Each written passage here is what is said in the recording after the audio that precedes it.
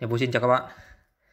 À, Hôm nay nhà vui mời các bạn đến thăm một dự án à, sửa chữa và à, cải tạo lại cái căn hộ chung cư. À, Trước mặt chúng ta đây là công trình à, khu viên xung quanh à, Một khu vực à, rất là thoáng. À, Đây là một cái căn chung cư à, thuộc à, nhóm nhà xã hội à, nên xây dựng à, với mật độ thấp tầng thôi. À, để xem à, cái việc à, cải tạo cái chân chung cư sau khi nhận à, bàn giao nó sẽ dẫn đến như thế nào và hiệu quả nó đến đâu? Xin mời mọi người.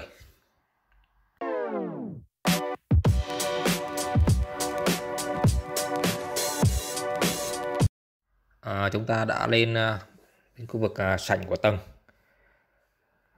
À, hành lang à, khá là rộng hành lang uh, rộng 1m8 là hành lang tương đối rộng so với một số căn nhà thương mại khác uh, cao cấp. Thực chất chỉ rộng có một mét rưỡi mà thôi. Thì về hành lang này là rất là tuyệt vời. Đây là căn hộ chúng ta sẽ tiến hành uh, tham quan. Trước mặt chúng ta đây là cái hiện trạng mà căn hộ đã được chủ đầu tư bàn giao cho khách hàng. Nó chỉ bao gồm các cái phần cơ bản thôi chưa có bất kỳ một cái thiết bị uh, bếp núc hoặc là uh, nội thất gì. Uh, căn hộ được bàn giao với uh, uh, vệ sinh cơ bản. Các cái phòng thì được lắp cửa sơn và đèn vẫn còn sử dụng hệ thống đèn uh, neon. Căn hộ này gồm hai phòng ngủ hai vệ sinh và có diện tích 65 mét vuông à, một diện tích à, khá là phổ biến. Cho một cái căn hộ hai hai ngủ. À, mọi người à, có thể xem để xem là à, cái căn hộ mình mua có cần phải đầu tư hay chỉnh sang gì không. Ở đây căn hộ này có hai lô ra đây là lô ra thứ hai. À, chủ đầu tư với mục đích là để lấy sáng cho căn hộ à, cho cái phòng ngủ ở phía master này còn cái phần lô ra ở phía phần ờ, đây các bạn xem đây là nội thất trong cái khu vệ sinh.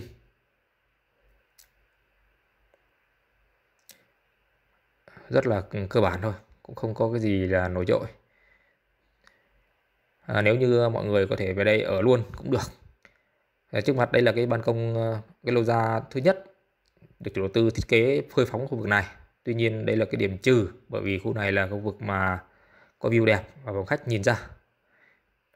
Việc đầu tiên của cái ờ, việc cải tạo đó là phải bố trí lại hệ thống kỹ thuật bao gồm điện và nước. À, theo với thiết kế ban đầu của chủ đầu tư thì các vấn đề về bố trí hệ thống kỹ thuật này là theo cái ờ, thiết kế cơ sở ban đầu. Tuy nhiên nó hoàn toàn không phù hợp với mỗi một cái gia chủ. Do đó việc thiết kế lại hệ thống kỹ thuật điện nước là cực kỳ quan trọng để làm được việc này thì trước hết chúng ta cần phải có về sơ đồ về nội thất để bố trí hệ thống các à, ổ cắm à, các cái à, công tắc hệ thống điều hòa hệ thống nóng lạnh tất tần tật đều phải được bố trí lại theo cái nhu cầu sử dụng mới. Và việc này là cái việc mà à, quan trọng nhất.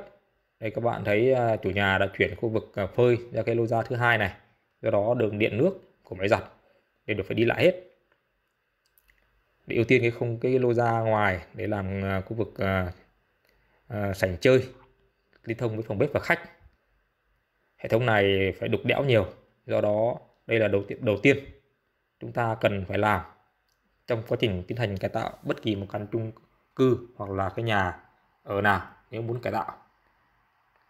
Khu này sẽ ưu tiên là khu sân chơi cho lô ra đầu tiên này. Tiếp theo là công đoạn làm trần. À, nếu như căn hộ có nhu cầu à, làm về đóng trần thì à, chúng ta nên à, xử lý cái trần này trước tiên. Tiếp theo có cái công đoạn là làm cùng với à, hệ thống điện à, bố trí hệ thống đèn âm trần hệ thống quạt trần hệ thống điều hòa đều phải được hoạch định trước tất cả các vị trí để cho việc à, đóng trần thạch cao hoặc là trần gỗ được tiến hành theo đúng với thiết kế. À, cái việc đóng trần này à, à, cũng nên làm ở trong giai đoạn cải tạo ban đầu bởi đó là công đoạn mà rất bẩn bụi trong quá trình sơn bả nhất là trong quá trình à, à bả matit và à, xả matit thì nó rất là bụi do đó à, nếu à, à, có nhu cầu làm trần chúng ta cần làm trong giai đoạn này và đi cùng với hệ thống điện. Các thanh xương trần treo trần và hệ thống dập hào cấp chỉ làm theo thiết kế. À, thường công tác làm thạch cao à, khá là nhanh. Chỉ làm trong vòng à, à 2 đến 3 ngày và hệ thống trần có thể kết thúc để làm các công tác tiếp theo. À, tấm trần à, à, được treo lên trên à, bê tông. À, bằng các cái thanh tizen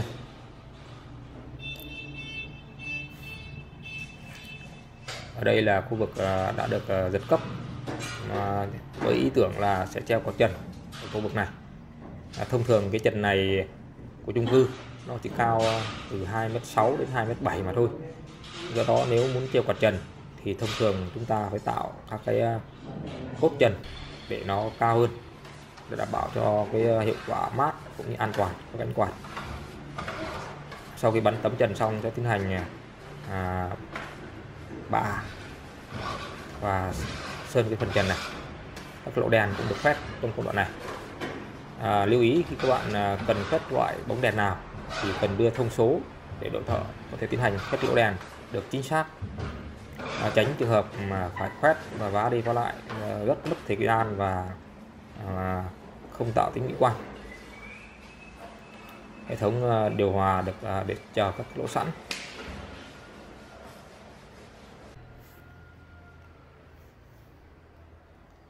Và đây là cái phần ờ, trần sau khi đã được hoàn thiện rồi. Lỗ đèn đã quét xong. À, cũng đã sơn trần và cùng với sơn tường quá trình à, sơn này à, sẽ được làm cùng đồng thời với à, cái phần trần làm trần thạch cao để đảm bảo ngôi nhà được hoàn toàn che lấp các cái vết đục, đường điện, đường nước và làm cho không gian trở nên mới mẻ và đồng tông hơn. Rất đẹp và trông rất là sang trọng. Ờ, kết thúc việc ờ, làm trần thạch cao sơn đó là phần làm sàn gỗ. Sàn gỗ hoặc là sàn à, nhựa là cái phần sàn nội thất mà được rất nhiều người lựa chọn trong cả cái thời kỳ hiện nay. À, việc làm lắp sàn này thì cũng là việc cân nhắc phải làm à, trước khi làm nội thất.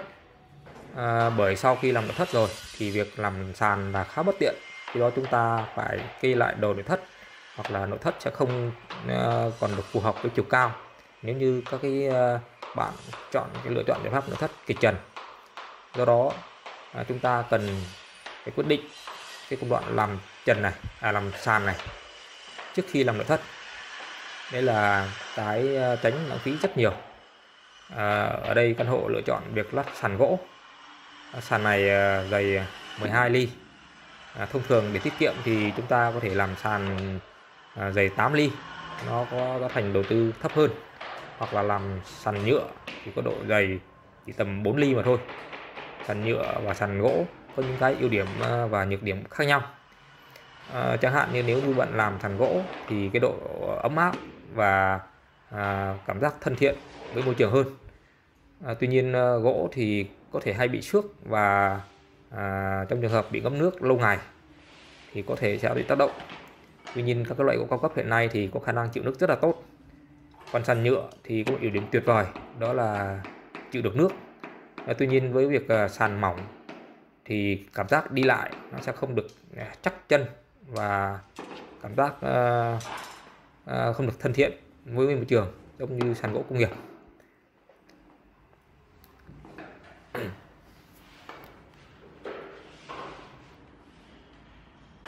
À, tiếp theo là một cái công đoạn à, cũng rất cần được quan tâm đó là làm hệ thống à, lưới an toàn cho các cái à, khu vực à, lô ra và cửa sổ. À, đây là cái vấn đề mà gây tranh cãi rất nhiều và hiện tại cũng chưa có một cái à, bất kỳ một cái giải pháp nào tôi cho là, à, là ưu việt trong trường hợp này. À, có rất nhiều các cái vụ tai nạn trẻ con ngã từ trên cao xuống các chung cư mà báo chí ở đây đã đưa tin à, một số hộ dân thì làm các cái hệ thống bảo vệ bằng à, thép hộp à, rất chắc chắn để làm an ninh à, an toàn. Tuy nhiên một cái hạn chế lớn đó là cái vấn đề à, à, phòng cháy chữa cháy thì không thể tiếp cận được à, hiện trường qua cái lối thoáng này. À, gần đây có một cái sản phẩm à, lưới an toàn à, được thiết kế bằng à, các cái sợi cáp nhỏ bọc à, à, trong các cái ờ, bọc nhựa và được à, khoan bắt vào à, khu vực ban công. À, cái cái cáp này nó như một cái lớp lưới và có khả năng đảm bảo cho vấn đề an toàn không tránh cho các cái vật à, và người có thể bị à, rơi qua cái đường này. Đồng thời lực lượng à, cứu hỏa chữa cháy có thể cắt đứt cái này bằng kéo một cách dễ dàng à, đây là một cái ờ, không làm tình giảm đi tính thẩm mỹ đồng thời cũng là vấn đề an toàn mà rất được lưu tâm với trong các căn hộ chung cư hiện nay. Việc à, thao tác cái này cũng khá là đơn giản. Với độ căng à, được điều chỉnh theo lực căng để làm sao thực sự an toàn và đảm bảo công tác ờ, cứu hộ trong trường hợp mà khẩn cấp.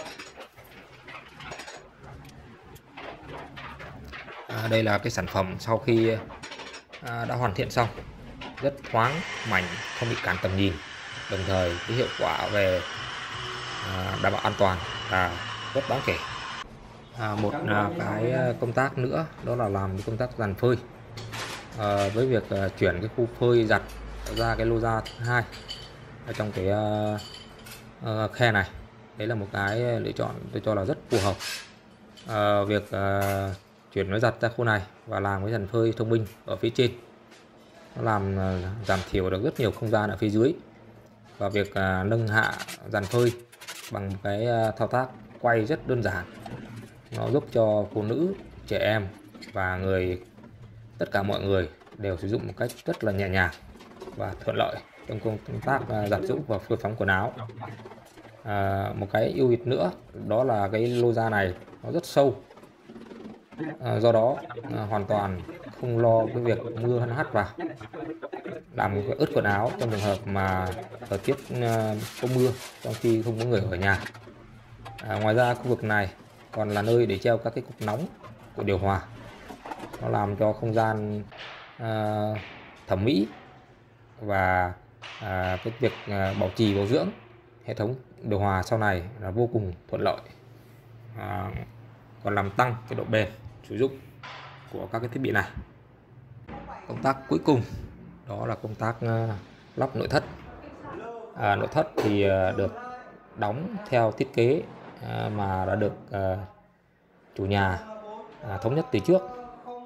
À, các cái hệ thống à, nội thất sẽ được lắp đặt sau cùng sau khi công tác làm sàn gỗ làm trần và sơn si các kiểu hệ thống kỹ thuật tất cả để hoàn tất thì nội thất sẽ là công đoạn cuối cùng. Trước khi à, chuyển vào để sinh sống.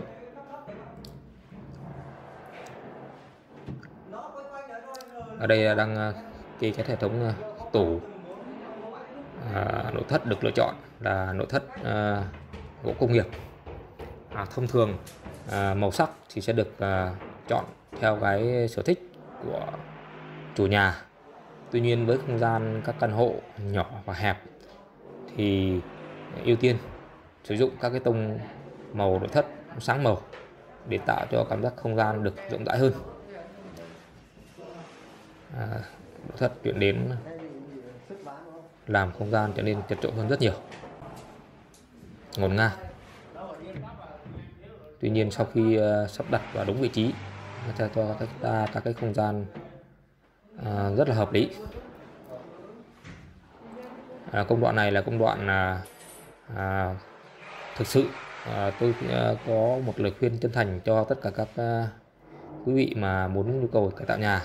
Thì cái khâu ờ, thiết kế nội thất nó rất quan trọng bởi nó liên quan đến cái việc tiện dụng và mức độ tiện nghi cũng như à, cái thói quen sử dụng của mỗi một chủ nhà là khác nhau. Nên do đó không có một công thức chung cho các cái việc à, bố trí nội thất. À, chỉ có cái à, nguyên lý cơ bản về các cái à, à, nguyên tắc mà thôi. Còn các yếu tố cá nhân thì khi chúng ta làm việc với đơn vị nội thất thì cần phải được à, đưa ra một cách rất là cởi mở để cùng nhau cho một cái sản phẩm à, ưng ý nhất trong quá trình mình sử dụng. Ở đây là cái vách gỗ uh, trang trí ờ, uh, ở cái phần nền của tivi à, đây là một trong những cái uh, sở thích riêng mà chủ nhà uh, đề nghị cùng với đơn vị nội thất. À, thông thường thì để tạo điểm nhấn cho cái phòng khách thì có thể trang trí cái khu vực này bằng đá bằng uh, gỗ hoặc là các bức tranh tuy nhiên à, à, ở đây cũng là một cái ý tưởng hay. Việc à, tổ hợp các cái thanh gỗ theo cái dọc đứng này à, màu gỗ là màu à, à, màu xi măng. À, hiện nay à, một trong những ưu điểm lớn nhất của cái việc à, sử dụng gỗ công nghiệp đó là màu sắc rất là đa dạng và có thể giả các vật liệu khác rất là đẹp. Trong khi với giá thành là so với gỗ tự nhiên thì rẻ hơn rất nhiều và độ bền thì hoàn toàn à, có khả năng từ à, 15-20 năm không thể hỏng được. Ngoài ra còn có cái tính năng là chịu nước rất là tốt để làm các cái vật liệu uh, trong cái môi trường chịu ẩm như bếp đều có thể dụng gỗ công nghiệp rất là ok. À, tới đây là nhà vui uh, vừa mới chia sẻ tất cả các công đoạn để uh, cải tạo nâng cấp sửa chữa một cái căn hộ uh, sau khi nhận ra từ đầu tư à, qua đó mọi người rút ra xem là có nên hay không nên khi nhận căn hộ và có nên cải tạo luôn trước khi vào ở hay không. Tôi khuyên là nếu như có điều kiện cho phép thì chúng ta nên tiến hành cải tạo. Tới đây nhà vui xin kết thúc video tại đây. Mời các bạn đón xem à, video hoàn thiện nhà ở phần tiếp theo.